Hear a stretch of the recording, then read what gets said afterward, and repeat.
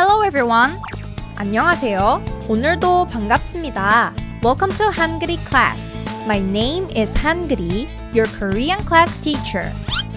As saying goes, stay hungry, stay foolish.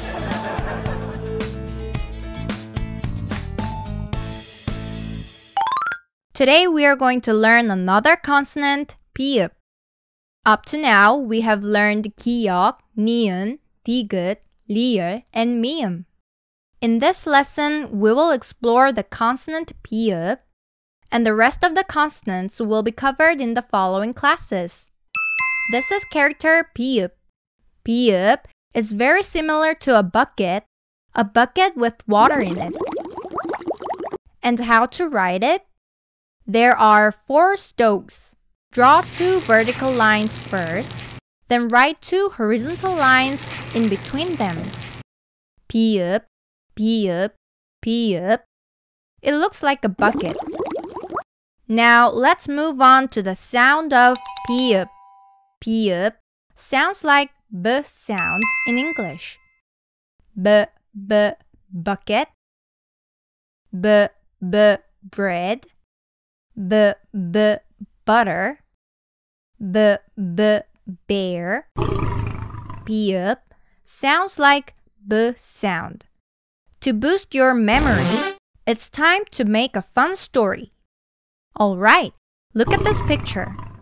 A bear eats bread and butter and drinks a bucket of water. A bear eats bread and butter and drinks a bucket of water. Which means in Korean, 곰 한 마리가 버터를 바른 빵을 먹고 물 한 양동이를 마십니다. And now we're going to explore four more Korean words with pi읍. 비읍, 버섯, 비읍, 병아리, 비읍, 바람개비, 비읍, 비빔밥. Let us try to find bieup or bieups in each word. For example, in Paul's there is only one bieup. Then how many bieup in Pyeongari? That's correct. There is one bieup. In 바람개비, there are one, two, two bieups.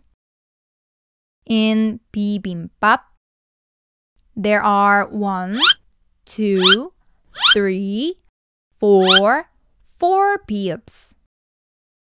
Now I think you can recognize the shape of bi읍 for sure. Let's talk about the sound of bi읍. Please listen carefully to the Korean words we have learned today.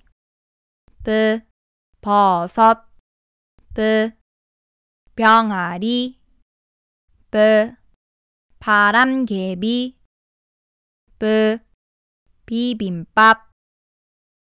Can you tell any difference between the sound of b, 버섯, and b, bucket? They sound like each other. So this is all for today. Did you enjoy it? Have a good day everyone and see you next class again. 다음에 또 만나요. 안녕!